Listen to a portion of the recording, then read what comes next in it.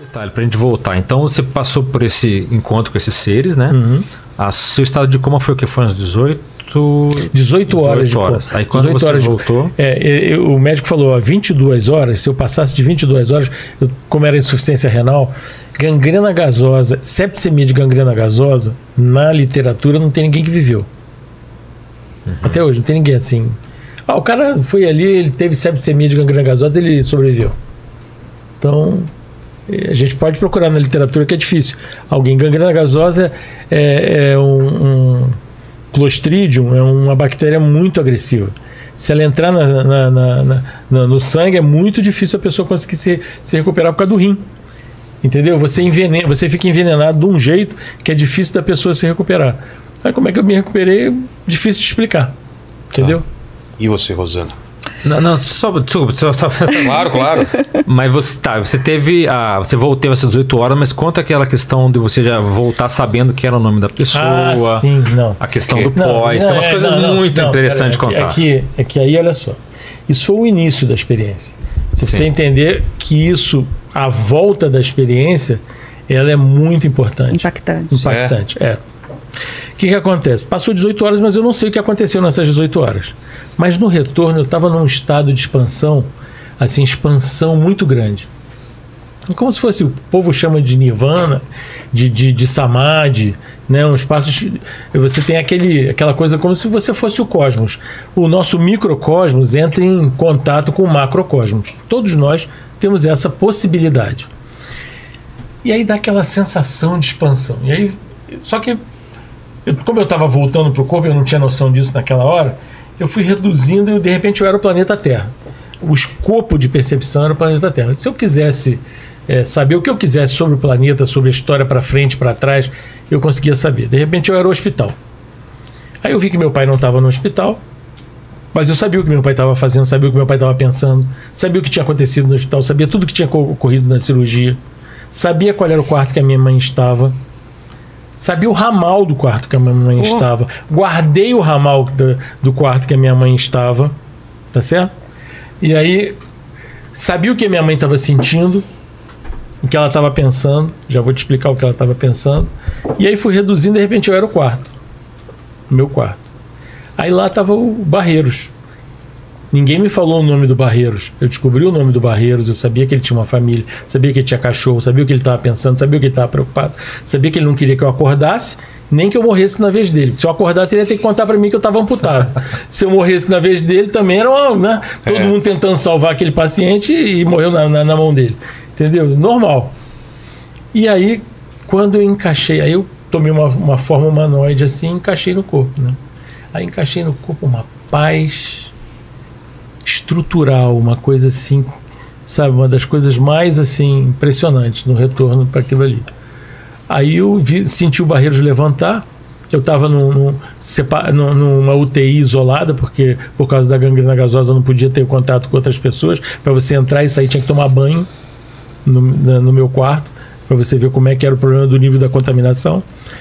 E aí o, o Barreiros levanta, quando ele vem andando na minha direção assim, que ele está quase chegando na cama, eu falo, Barreiros. Aí eu- ele tomou um susto. Ué, como é que esse cara sabe meu nome? Eu não podia saber o nome dele, né?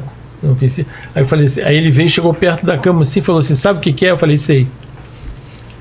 É que eles precisaram, eu falei, eu sei. Não deixei ele falar. Fica tranquilo, eu sei de tudo. Eu preciso falar com a minha mãe. Ele falou, ah, ela está aqui no hospital. Mas eu não sei qual é o ramal, eu sei. Pega aí o telefone.